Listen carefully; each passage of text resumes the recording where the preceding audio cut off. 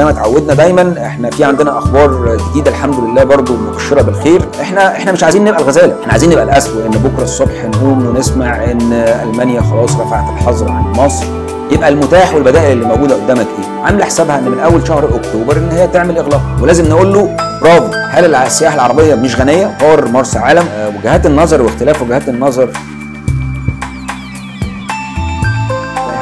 الرحيم. السلام عليكم ورحمة الله وبركاته. معاكم طارق المنشاوي وحديث جديد عن قطاع السياحة ومستجداته. وجهات النظر واختلاف وجهات النظر خلينا دايما آه، يعني نتفق إن هي لا تفسد آه، للود قضية كما يقال. وخلونا دايما نقول إن علم الإدارة وأسلوب الإدارة بيعتمد دايما على الأفكار وعلى الآراء المختلفة اللي منها بتطلع آه، أسلوب إدارة معين وبيكون ليه هدف معين. والنهارده إحنا في أزمة بنطلب دايما إن يكون في طريقة لمعالجة الأمور آه، والأزمة اللي إحنا موجودين فيها. ناس كتيرة جدا بتقول إزاي إن إحنا نقول إن إحنا مش محتاجين المانيا اولا إحنا ما قلناش كده. إحنا قلنا دايما السياحة الألمانية بالنسبة للسياحة المصرية ضلع أساسي موجود في السياحة المصرية. وقلنا إن يمكن تل- تلت السياحة المصرية اللي موجودة عندنا في مصر هي من الشق الألماني. وقلنا قبل كده برضو إن السياحة الروسية كان ليها بورشن كبير جدا عندنا في مصر وتتجاوز ال 65% ولما حصل الأزمة اتأثرنا شوية ولكن قدرنا إن إحنا نجتاز الأزمة بإن إحنا ركزنا أكتر على الدول الأوروبية. النهارده علشان ألمانيا متعنته معانا شوية وإحنا لسه منتظرين النتيجة إن شاء الله في أول أكتوبر إيه اللي هيحصل من ألمانيا. وفي مؤشرات كتيرة جدا ومبشرات كتيرة جدا بتقول إن ألمانيا إن شاء الله في شهر أكتوبر اللي جاي هترفع الحظر عن مصر ويبدأ إن في السياحه تعود إن شاء الله من تاني إلى مصر. وطبعا ده هو أمانينا كلنا في إن هو ده اللي يحدث وإن بكرة الصبح نقوم ونسمع إن ألمانيا خلاص رفعت الحظر عن مصر. ورفعتها من الريد زون اللي هي حطاها فيها. ممكن أنا أكون آه، واحد من الناس اللي مش شايف مؤشرات بكده ولكن في ناس كتيرة جدا متخصصة وبتتكلم في الأمر ده وإحنا كلنا بنأمل الكلام ده. ليه مش شايف مؤشرات كده؟ لأن أنا شايف إن معظم الأوتيلات اللي موجودة في البحر الأحمر أو في الغردقة تحديدا يعني عاملة حسابها إن من أول شهر أكتوبر إن هي تعمل إغلاق. فخلينا نقول إن التمني شيء وإن ال- ال- التحركات الإيجابية في خلال أزمة زي اللي إحنا موجودين فيها دلوقتي شيء تاني. وقلنا التحركات اللي موجودة في الوقت الحالي والاوبشنز اللي متاحة في الوقت الحالي لينا إن إحنا نفتح أسواق. قلنا يمكن الأسواق دي ما هياش أسواق كبيرة. يمكن الدول اللي إحنا بنطرق بابها دلوقتي ما هياش غنية آه، زي أوروبا. ولكن هو ده المتاح في الوقت الحالي. وقلنا قبل كده إن إحنا عايزين آه، يعني ناخد دروس آه، مستفادة من الماضي بتاعنا. ونحاول بقدر الإمكان إن إحنا ما نعملش زي الغزالة. المقولة بتقول ان إن الغزالة بت بتجري بسرعة 95 كيلو متر في الساعة والأسد بتبقى سرعته 55 كيلو متر في الساعة. ولكن إحصائيات بتقول إن نسبة اصطياد الأسد للغزالة 96% مع إن فرق السرعات كبير جدا.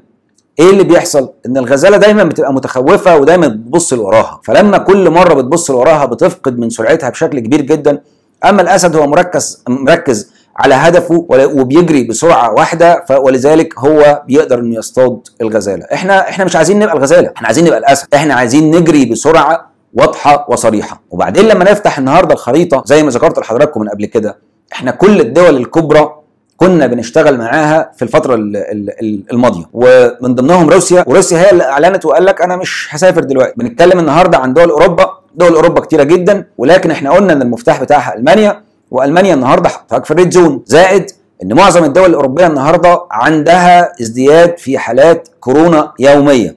إحنا بنتكلم على ألمانيا وبنتكلم على فرنسا وبنتكلم على إنجلترا مثلا قفلت قفلت بعض المحافظات عندها في الجزء الشمالي بتاعها نظرا لأن الأرقام بقت كبيرة جدا. فقفلت تماما حدودها. بنتكلم عن إيطاليا ما زال فيها أرقام زيادة بنتكلم عن أسبانيا قفلت تماما ومفيش حد النهارده بيسافر لها ولا هي بتسافر لحد. طيب دي الدول الكبرى اللي حصلت فيها. يبقى المتاح والبدائل اللي موجودة قدامك إيه؟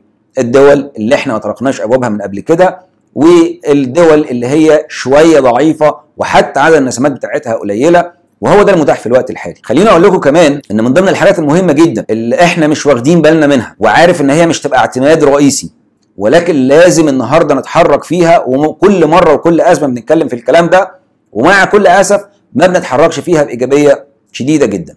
ألا وهي السياحة الداخلية. النهارده السياحة المصرية إحنا معتمدين عليها بشكل كبير جدا سياحة موسمية. وأنا كنت عملت فيديو قبل كده عن السياحة الداخلية وكنت بتكلم عن علاقة الفنادق وعلاقة العملاء في الوقت الحالي. السياحة المصرية النهارده ليه ما نقدرش إن إحنا نفكر فيها بإن إحنا نحولها سياحة مستدامة؟ وأنا قلت قبل كده إن السياحة المصرية هي المنقذ دايما لما بيحصل لنا أزمات. طب ليه ما بنتعلمش برضو من الدروس ونقول إن السياحة المصرية النهارده نقدر بشكل ما إن إحنا نحولها إلى سياحة مستدامة؟ آه ليه النهارده ما بنعملش اتفاقيات مع الجامعات المصرية؟ تطلع رحلات في الأقصر وأسوان المختصة بالآثار والسياحة الشاطئية ونخلي الطلاب بتوع الجامعات دول يتفرجوا على جمال وطبيعة آه مصر. ليه النهارده ما بنعملش الكلام ده كذلك مع المدارس؟ ليه النهارده ما فيش منهج متخصص موجود في التربية والتعليم علشان يحط الوعي الكامل للطفل ده أو للشاب ده إن هو لازم يطلع يتفرج على بلده؟ ليه النهارده ما نقدرش نعمل بروتوكول معين مع وزارة الشباب والرياضة اللي نخليهم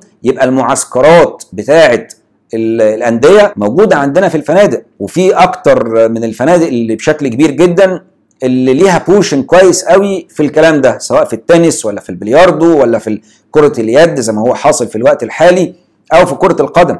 ليه ما بيكونش فيه تعاون في المنطقة دي والفنادق تتبع المنهجية دي وتشتغل عليها؟ وبدل ما نفكر إن هي سياحة فقط موسمية إحنا ممكن نحولها إلى سياحة مستدامة بشكل كبير جدا. وأنا أفتكر ان أنا شفت من احد زمايلنا ال director of sales اللي عمل الفترة اللي فاتت فكرة خارج الصندوق كانت رائعة وكانت جميلة جدا إنه عمل membership أو discount معين للأوتيل بتاعه لكل العاملين في قطاع السياحة والفنادق ودي أنتجت وأثمرت بشكل كويس قوي عائد مادي وحركة في الأوتيل. فكرة رائعة ولازم يثنى عليها بشكل كبير جدا ولازم نقول له برافو. فالنهارده ليه ما نقدرش إن إحنا نفكر بشكل جدي بتكاتف الوزارات إن هي تخلي قطاع السياحة ده شيء أصيل من النشء الصغير لحد ما الشاب ده يكبر؟ النهارده إحنا بنقول مصر السياحية وإحنا النهارده بنرفض أو في عزوف من السياحة الداخلية في الفنادق المصرية. لازم نغير الكونسبت ده ولازم نغير الفكر ده آه ونخليه للصالح. كمان خلينا نتكلم عن السياحة العربية. السياحة العربية اللي هي نسبتها في السياحة المصرية قليلة جدا. طبعا ربنا يعفي جميع الدول العربية بما فيها يعني ولكن أنا بتكلم على الدول اللي موجودة حاليا دلوقتي زي الأردن وزي الإمارات وزي البحرين. نقدر إن إحنا نستجلب السياحة العربية. وما تقوليش إن في حد في العرب ما بيحبش إنه يزور مصر. سيبك من إن هو بيحب مصر ولا بيحبش مصر. ولكن بيحبوا يجوا يتفرجوا على مصر يحبوا يجوا يتعاملوا مع الشعب المصري. هل السياحه العربية مش غنية؟ لا غنية. هل النهارده ما نقدرش إن إحنا نعمل منها رافني كويس؟ نقدر. في أفكار كتير في الأزمات لازم نقعد نفكر بشكل جدي ونطرق جميع الأبواب. وتاني بقول إن ما ينفعش إن إحنا نعتمد على دولة واحدة ولا نقدر نعتمد على سورس واحد لأن ده هيضعفنا مش هيخلينا اقوياء خليني بس أقول لحضراتكم زي ما اتعودنا دايما إحنا في عندنا أخبار جديدة الحمد لله برضو مبشرة بالخير. النهارده مطار مرسى علم بيستقبل إن شاء الله في بداية أكتوبر. هيبقى فيه أربع طيران طيارات بولندي أسبوعية. هيبقى فيه طيارة أوكرانية أسبوعية. هيبقى فيه طيارة فرنسية أسبوعية. والطيران السويسري زود طيارة فبقت رحلتين في الأسبوع بدل ما كانت رحلة واحدة. ودي من الأخبار الكويسة. ولكن لازم يكون في تحركات داعمه لتحركات وزارة السياحة والآثار والدكتور خالد عناني في الوقت الحالي إن إحنا نفتح الأسواق الجديدة نتعاقد مع الأسواق الجديدة. الحكومة عليها إن هي تسهل عملية الفتح وإحنا علينا إن إحنا نستكمل من وراهم ونبدأ نستجلب السياح إلى فنادقنا أو جمهورية مصر العربية علشان الحركة تدور واحدة بواحدة. اشكركم جدا تحياتي لحضراتكم وما تنسوش تعملوا subscribe تتفرجوا على الفيديوهات القديمة وتعملوا like اشكركم والسلام عليكم ورحمة الله وبركاته.